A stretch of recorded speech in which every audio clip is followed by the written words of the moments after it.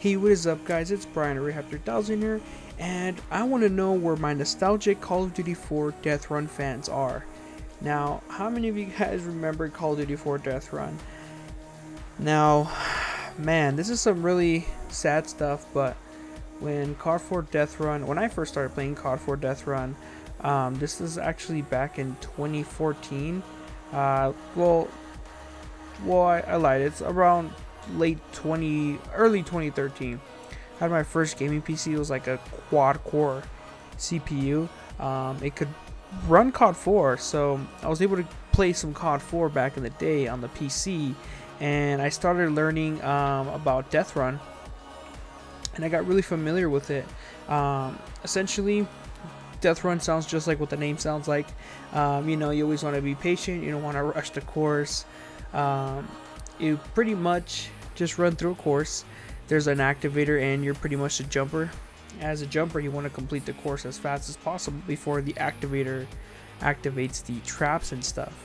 So essentially, um, this was a mod for Death Run, and a lot of people that played it back in the day kind of know um, how to how to hit those jumps. You know, so you need specific technique, especially for um, increasing your FPS uh, being able to hit the correct jump.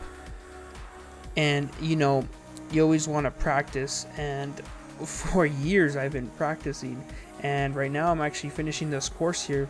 Uh, I was playing a little bit earlier uh, today. I'm making this video a little bit late at night but I was just wondering if you guys remember COD 4 Death Run. Leave a like and subscribe if you enjoyed the video uh, comment down your favorite map from COD 4 Death Run I'm gonna name my top five. I believe one of my favorite maps. Uh, my top five for sure will be Jurassic Park.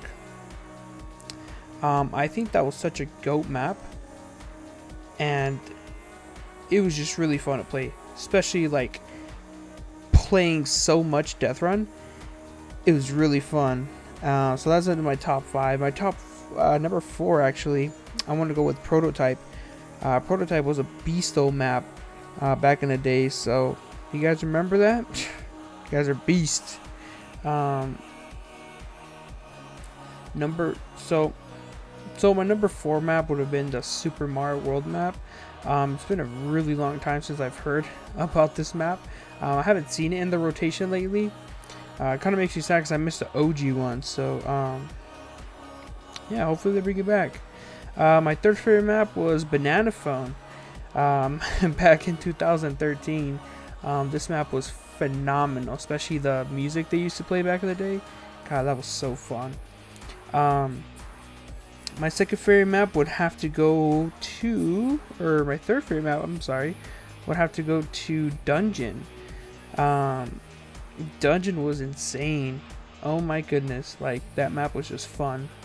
Like you have to, I'm telling you, you had to have played these maps back in the day to remember these type of maps. That's how good. That's how good this game was. Uh, number two, I have to give it to Death Run Portal. Man, you guys remember Death Run Portal? Um, I want to go with because there's different versions. Death Run Portal version 3 was so fire. I mean, this map easy to complete, very fun to play. OG players know how good that map was. And to give it to my favorite map, of COD 4 Death Run. It's pretty controversial, but this is one of my favorite maps. I'm gonna have to go with, drum roll please. If you don't already know, my favorite map for COD, COD 4 Death Run is drum roll Coyote. Yeah, Coyote was so fire. If you guys ever played Coyote, man, that map is just so so good.